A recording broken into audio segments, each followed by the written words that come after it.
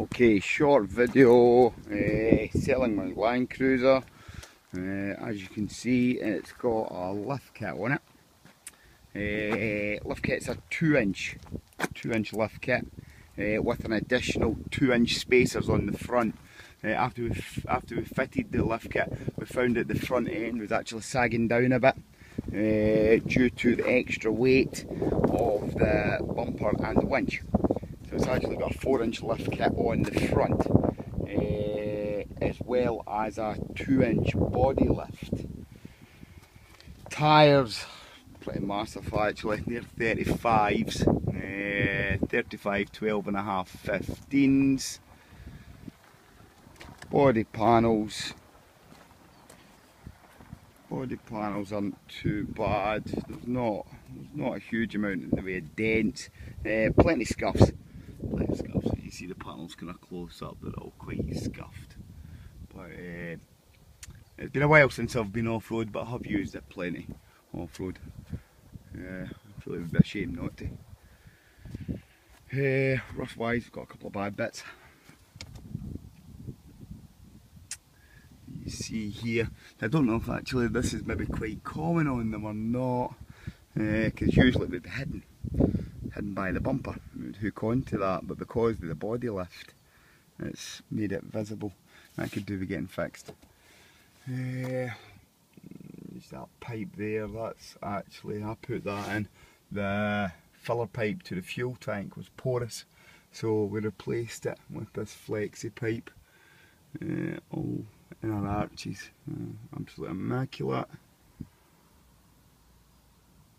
Anybody that knows anything about them will know they're kind of renowned for being really good to be honest.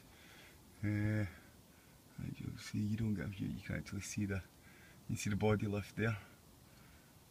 And it's got all the extended springs on it as well.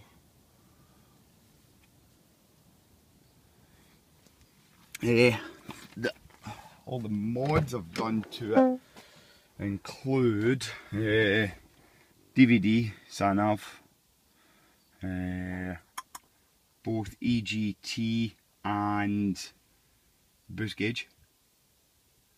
I think uh, that's what I've done uh, on the inside. Uh, pretty clean inside. Wasn't as clean this morning, but all been tidied out now.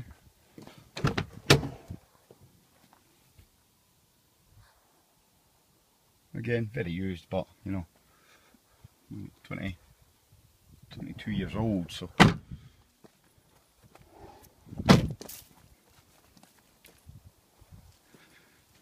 Cargo net in the front. Uh, oh, intercooler. You see there down the back of the winch. A big intercooler.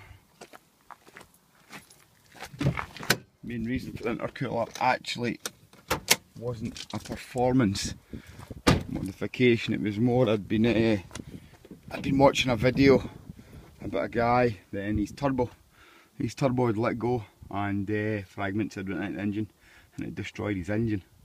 Uh, and engines are about two grand, which I know for definite because I sold one last year and got two grand for it. So the last thing I wanted was my engine going, so I had a, an old intercooler lying about. Uh, so I had a spare day, so fitted an intercooler to it. Uh, the pipe I used is flexi pipe, but it is the proper, the proper stuff. It was quite expensive. It was hundred pound for I think four meters of it I got. Batteries, uh, I have never replaced them, uh, but they've also never gave me any problems. Uh, aircon radiator was removed it was in an awful state and once I come back from off-roading I noticed a huge amount of dirt and silt down the back of it which couldn't really be cleaned properly so aircon radiator is gone. Uh, as is a lot of the pipes. See there's still a couple left but there's not much. Not much. All pretty clean under the bonnet apart from kind of general kind of mud and so on. Uh, it's been a while since I've actually been off-roading in it? But I'm sure you'll know that they're really good off-road. Yeah, will start it up. They all seem to start the same way. You literally just give them one tiny flick and there they go. it can change all angles and everything. Uh, gauges there. Windows. Windows are a nightmare. Always seem to be. Seem to have a, mind of their own, whether they work one day and don't the next. Uh, the best window is always my driver's one. Uh, until last week. It's now working sometimes and not. Uh, I'll probably have a look at that. Turn off your model, hear me? Uh, I think that's about it. Anything else you want to know, just uh, send me a message. Uh, I would be quite happy to sell it without all the lift kit and everything actually, all the modifications, I'd quite happily take all of it off. Because the reason I'm selling it is I've bought another one, an import, uh, which is absolutely immaculate. So I'll be doing pretty much all the same stuff to it. So I would quite happily, quite happily take all the stuff off it and put it on my new one. Uh, and all the stuff on it is actually really good. It's got really good tyres on it, which are actually quite a good size as well. Uh, the only thing I can't take off is uh, snorkel, because uh, obviously you'll have a, a big hole in the wing. Missing the two bolts there.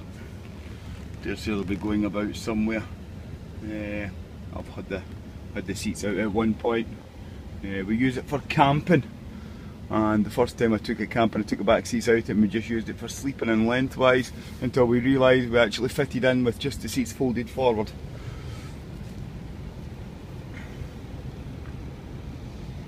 All the four wheel drive works fine. As I said, anything you want to know, get in contact. Thanks.